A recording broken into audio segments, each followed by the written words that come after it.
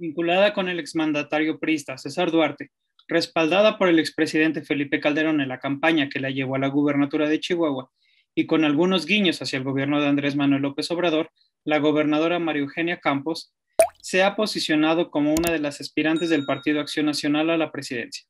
Hace un mes, el dirigente nacional panista Marco Cortés la contempló en su lista durante el mensaje que dio en la plenaria del sistema legislativo del PAN, en el que pidió cuidar la coalición conformada por el PRI, el PRD y el PAN, y darle juego a los panistas que aspiran a ser candidatos a la presidencia de la República. Y entre ellos mencionó a Maru Campos, una política conservadora que apenas llegó al gobierno de Chihuahua el pasado 8 de septiembre. De hecho, un mes después de haber tomado protesta, ya había sido considerada por Cortés como una de las posibles aspirantes. En ese entonces, el dirigente del PAN dijo,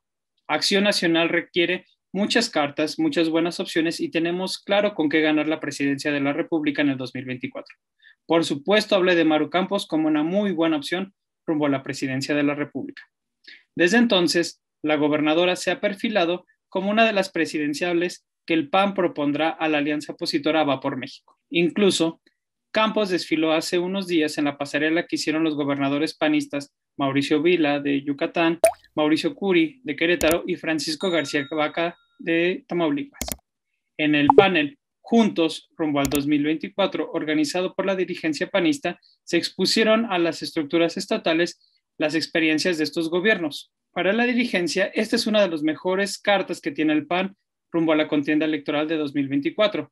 en donde la mayoría de las mediciones colocan a los aspirantes de Morena, la jefa de gobierno Claudia Sheinbaum y el canciller Marcelo Ebrard como los mejores colocados rumbo a este proceso electoral.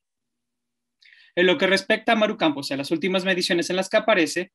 figura en el cuarto lugar de la preferencia efectiva de los aspirantes panistas con un 7% de la medición publicada por la empresa Encol, publicada el pasado 16 de marzo. En esta encuesta, el primer lugar de los posibles aspirantes panistas lo ocupa Ricardo Anaya con un 39%, seguido por Margarita Zavala con un 32% y Santiago Krill con 13%. No obstante, en las encuestas publicadas este mismo mes por el Universal y el País no figura la mandataria chihuahuense, como tampoco lo hace en la evaluación quincenal de los líderes nacionales rumbo a la elección presidencial de 2024 que elabora la consultora Massive Collar.